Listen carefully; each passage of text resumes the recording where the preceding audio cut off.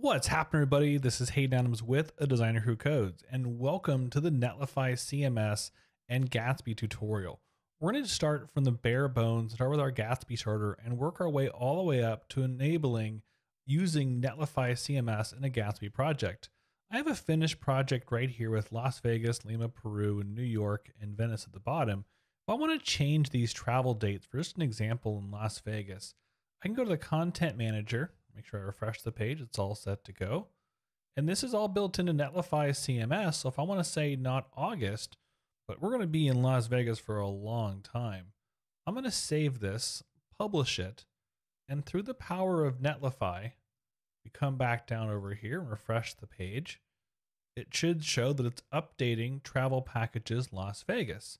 And using the power of Netlify, what's going to happen is that's going to push the data from Netlify CMS over to my public facing Netlify page. So if we give it one more second, hopefully it's going to go through. And just like magic, we have a successfully pushed up version of this project. And when I refresh the page, we've now going to spend an extra month inside of Las Vegas and it's changed to July. This is a multi-week, multi-step process, so don't forget to subscribe if you want to see the whole entire project. And with that, let's get started. All right, so to get started, I'm going to use the Gatsby Starter default template. Now, why I like using this is because it already has a lot of the plugins that I want to use already built in. So instead of having to go one by one install them, I'm just going to use this template and take out a few of their little demo pieces that I'm not exactly loving in their design. So I'm going to copy and paste this GitHub repo. I'm to come over here and say npx gatsby new and this one's going to be 179 Netlify, CMS, and Gatsby. And I'll paste it right in. And what I'm also going to do along with bringing this repo in is I'm going to also install the React Bootstrap. Now, if you've watched my channel before, you've seen countless videos of both Bootstrap and React Bootstrap as I am a gigantic fan of the React Bootstrap, Bootstrap, Bootstrap and the overall vanilla Bootstrap interface. I have to go back and forth on occasion.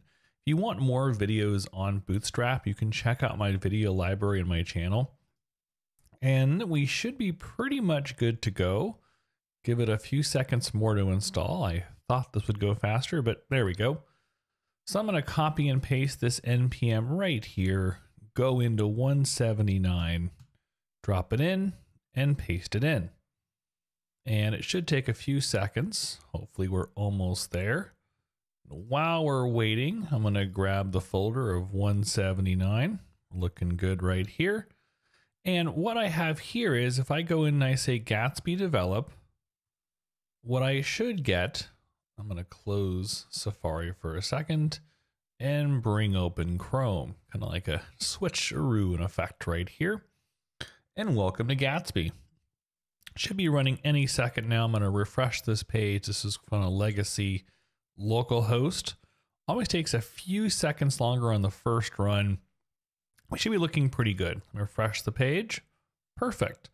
So what I'm going to do here is in the source folder, I'm going to then go by name. I'm going to create a new folder called CSS, where I'm going to put my global design or my custom, as I like to call it. So what I'm going to do is go into components and go into layout and drop the layout in here. Move this up a little bit higher, move this up a little bit higher right there. And in here, what I'm going to do is I'm going to take out this layout. If you want to see something fun, take it out and whoa, it all goes back to old fashioned HTML with no CSS. So what I have to do is I realize that I closed my Safari browser. It's back right here. I'm going to come over here. I'm going to copy the CSS from React Bootstrap. I'm going to drop this in. And now I can then minimize this all over again. And what I'll do is I'll drop this in. And now it turns into, there it goes, a Bootstrap version. Now I do want to bring in a custom CSS. So I'm going to say new file. And I'll say custom.css. And I'll go into the CSS folder and drop in custom. Now what I'll do is I'll say body, background color purple, and just so I know it's always linked up, what I'll do is I will say import, and I'll go outside the folder, and I'll go into my CSS folder and say custom. All that purple does, perfect. It works, is to make sure that custom CSS file works with my layout. It does. I can take out the body and I'm back to square one. Just because I don't need everything else in this design, what I'm going to do is inside this layout folder, I can take out this div since I don't need it. I can take out the bottom div as well, and then I'll just scoot in the main and the footer. So what I have now is something even a little more just basic. I haven't gone all the way out yet, but it eventually will change the way it looks.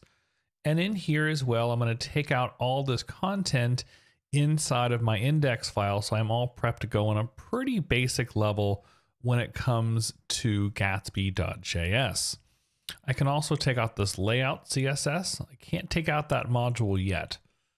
So I'm going to go into pages and in here, I'm going to go to the index.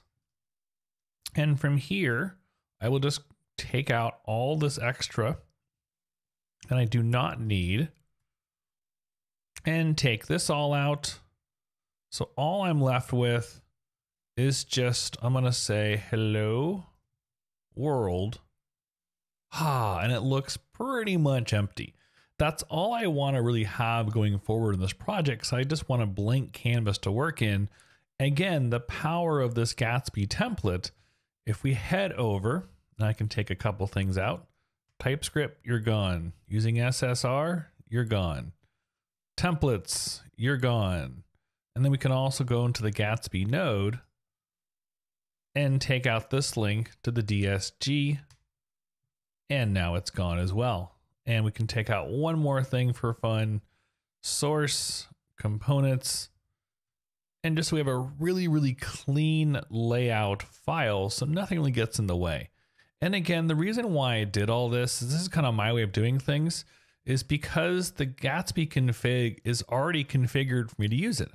So if I scroll down, we have our file system, we have our sharps, we've got our plugin sharp, we've got our manifest. Everything's kind of there for us to use out of the get go. Instead of having to build this manually, I just took out a few design components and I'm really where I want to be. Now we're all set to go in this project. So what we want to do is we want to then put this little project up on Netlify.